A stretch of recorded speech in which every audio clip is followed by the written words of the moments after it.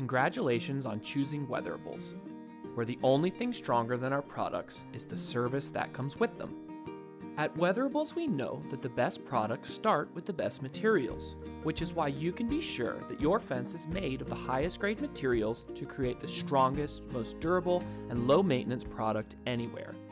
In this video, we'll walk you through the proper installation of your Hartford picket fence. Let's get started. First, set your gate posts with the aluminum inserts, being sure to allow enough space to accommodate both the gate panel and the gate hardware. You'll also want to allow a clearing of at least 2 inches between the bottom of the panel and the ground. This is a critical step since the gate will set the height for the rest of the fence.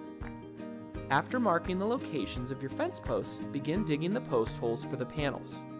The holes should be 30 to 36 inches deep and 10 inches in diameter for 4 by 4 inch posts, and 12 inches in diameter for 5 by 5 inch posts. Now you can start by installing post A in the first hole with concrete around the post. Be sure to level and plumb this post for proper placement. It's important to have post B sitting in the adjacent hole but not cemented so you can assess alignment.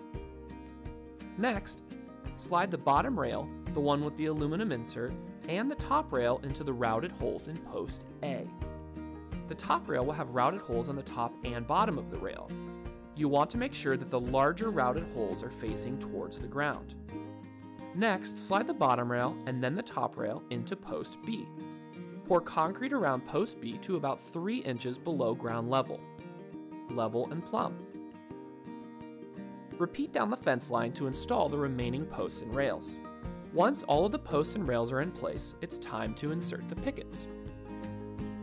Insert the pickets with the notch side down through the routed holes in the top rail and into the bottom rail.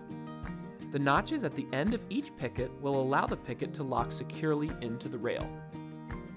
Continue inserting pickets into all additional panels. Finally, place a small drop of glue on the inside of each picket before putting the picket cap in place. The glue dries quickly, so you'll want to place the glue on the picket and then immediately install the cap, one picket cap at a time. Before you begin the installation process, be sure to also watch the layout and post-installation instruction video. This fence can accommodate a slope if installed using the racking or stepping method. Refer to the installation guide to determine the exact slope your fence can accommodate and the best method of installation.